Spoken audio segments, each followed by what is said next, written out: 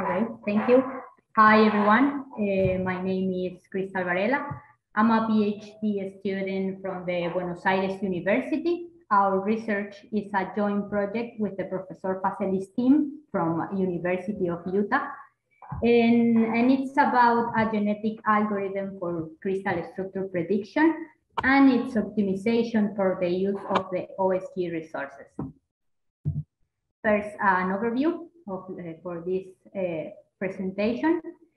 Um, I'm going to give you a general introduction to crystal structure prediction and our research, then why we need and why we use the OSG for our project, how we do the job distribution on the OSG, and of course, uh, our research progress and the next steps for us. Well, first, uh, what is crystal structure prediction? Uh, if we have any molecule, we want to be able to predict the crystal structure of that molecule uh, based only of the knowledge of the chemical composition or of the chemical diagram of that molecule, even on those cases where polymorphisms are present. This means when the crystal structure exi exists in more than two uh, crystalline structures. Uh, this is very important for uh, industrial, uh, industrial science and academics because um, this simplifies the development of new compounds and materials, the designs of crystal upon crystal, and the understanding of the crystallization process and the polymorphism. the hard part of this is that even for a small molecule, uh, we have a large number of possible configurations. Uh, and for all of these, uh, for all of these possible configurations, we need to do an structural optimization and the energy calculation of this of this uh, crystalline structure, of these possible crystalline structures, looking for the minimum uh, energy arrangement of this of these uh, atoms of the molecule, right? So, so this procedure take a high computational cost for us. Uh, to overcome this, um, my group has been working on an algorithm named MGAC, Modified Genetic Algorithm for Crystals. And, and this algorithm creates a random initial population with uh, the individuals uh, are the, the possible crystalline structure. We prepare these individuals and, and, and make the energy evaluation. And then we classify uh, in a list with the best structure, uh, the, uh, that one that has the, the minimal energy, right? So we can recombine the, the genes of this of the best structure and create another set of individuals, uh, means the another set of crystalline structure to to to start again and and make the the the energy evaluation and and and start over again. so why we use the OSG for a project? Well, we use the software Quantum Espresso for the energy calculation for each structure. Uh, so we distribute this energy calculation through the OSG nodes because the high performance and the efficiency of these nodes and it's very important for us that the OSG allow us to distribute the calculations independently. Uh, that means that, that uh, we can evaluate each possible structure independently of the other. And the OSG is the only Open Science Grid that scales to the level that is needed for crystal structure prediction. Well, how is our job distribution? Um, well, as I mentioned before, we create a, a, random population and send the input files need for Quantum Espresso um, to do the energy calculation uh, to the OSG. The OSG run each job and as the calculation finish, we classify in a list of, uh, of the best structure. Um, this list is obviously constantly uh, updating. From this list, we create new children, it means new, new possible crystal structure, and uh, the input files of Quantum Espresso are sent to, to the OSG uh, to do the energy calculation and so on. but uh, what happened on the OSG? Well, uh, when I run my first job alone around one year and a half, maybe, we, we, we run the Quantum Expresso as a pre-installed software. I think that that is the correct name of this, of this I don't know. Um, so that means that was that the problem with this is that Quantum Expresso was not available in all nodes. So we have uh, uh, we have uh, we have the job when when we run the job the job the job failed immediately, no. So now we we have Quantum Expresso in a container, so Quantum Expresso can run in any uh, in, a, in any OSG node. Another issue that we have was, uh, was that we send the job uh, one by one. So we have problems slowing the, the queue and, and that kind of stuff. So now we, we send the, the, the jobs through a list by, by groups. So that, that, is, uh, that makes a better distribution for all of us. Another issue that we have is that uh, the individuals or the, or the possible structure has a different memory requirement. So instead of, of relaunch the job with a bigger memory requirement, we use this line that allow us to, to release the job with a bigger, with a bigger uh, memory requirement if the structure needed. Um, Um, then, and I think that, that the most uh, important implementation for us is the check, self-checkpoint, uh, because in our case, uh, and according to the size of the molecule, the energy calculation could take more time than we expected. So uh, at first, we are using MPI to finish our job faster, but we found another series of issues with this. So uh, the OSG staff give us the checkpoint implementation as a, as a solutions. Um, that means that if we have long jobs or if the job is kick, uh, is kicked off of the running node, the job is prepared to start from the last checkpoint in the same or, or in a different node. um, so for us, the implementation of the third checkpoint is, is as, as follows. Uh, we have the, the Quantum Expresso input file, and we can set a safe, uh, a safe stop uh, in the input file of Quantum Expresso. We set uh, in for every four hours.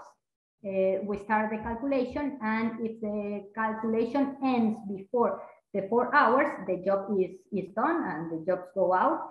If not, we make a checkpoint and we use an input, an input creator. This is an extra algorithm that uh, allow us to, to, to create a new input file from the last iteration of Quantum Expresso and, and restart the, the Quantum Expresso calculation uh, from the last checkpoint file uh, and start again and, and repeat if the job is not finished.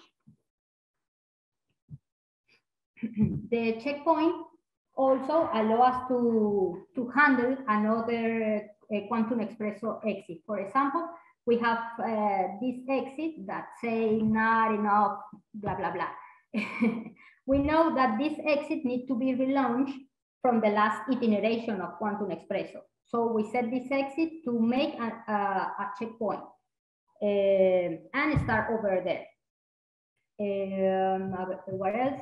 So uh, uh, there is another uh, quantum expresso exit that we need to to to set as a checkpoint is the number the, the quantum exit number three.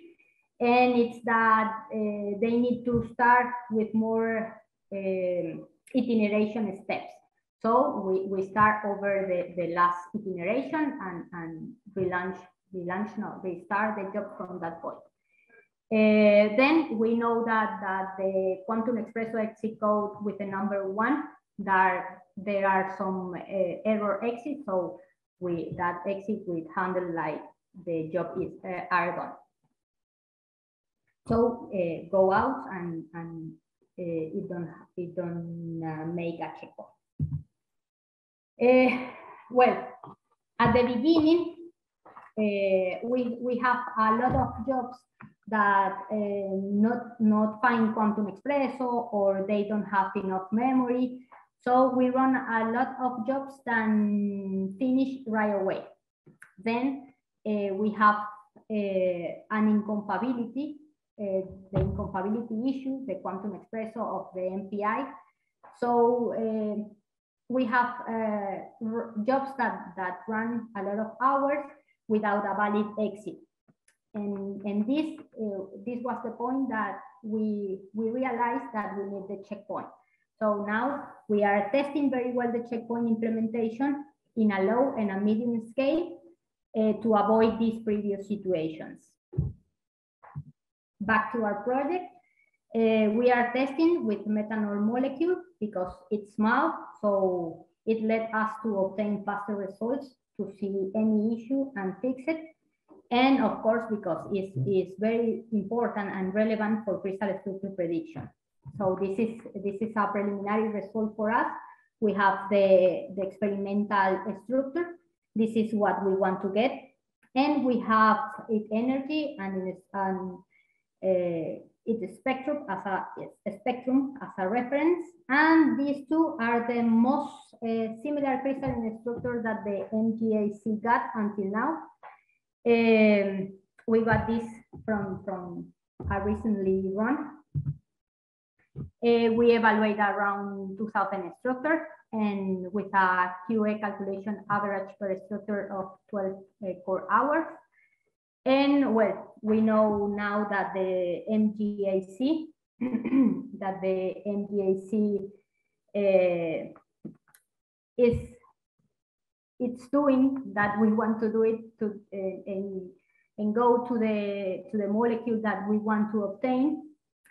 Um, that the implementation to the to the to improve the, the use of the OSG, for example, the self checkpoints, take time, but also improve the performance of the running jobs. Uh, we are making some improvement to our code and at the same time optimizing the execution of the job with the checkpoint implementation. And uh, for, for uh, next steps, we want to change the test molecule and explore also the possible configurations to see if we can get similar structure to the uh, to the to that one that we want. Uh, well, the OSG support, uh, the participation of the OSG Virtual School uh, 2021 uh, let me know that are a lot of tools and resources available on the OSG to improve the use of the OSG resources. That is very important uh, for us and for the OSG users and, and, and for all of us. And also the OSG staff they always are there to see what is the best job submission for each project.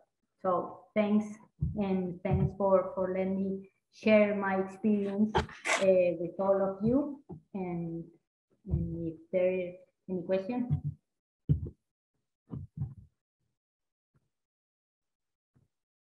Thank you, Kristal. If anybody has questions, they can drop them in the chat or use the reactions option in their Zoom window to raise their hand.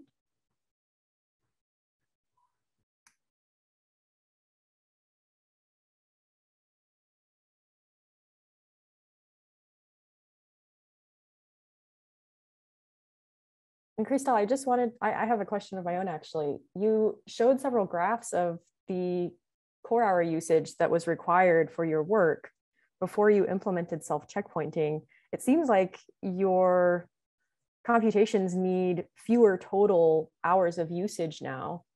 Is that because um, you had executions that were getting interrupted before? I know you mentioned that some of the MPI based tasks, um, because of the way MPI was working were, were taking a long time, but it looked like you have saved a significant amount of overall computing time that's necessary to achieve the same science outcome. Is that true? Yes, yes, it's true. Uh, when when we start with the self checkpoint implementation, uh, the the hours uh, was improved, uh, were improved very, very, uh, very, very well. So now uh, the jobs, all the jobs are finished uh, the way that they have to finish, not with with uh, issues uh, about I don't know, like the MPI issue that that took so long because they got stuck on the node and and all stuff. So the self checkpoint implementation, it was a, a very good solution for us. And Tim, I thought I saw your hand up. Yeah, and then uh, your, your question was close enough, so we're good. okay, great. Any other questions for Kristal before we move on to our next speaker? We've Got time for maybe one more, but again, we'll have the discussion sessions later on as well. All right, well, thank you again, Kristal.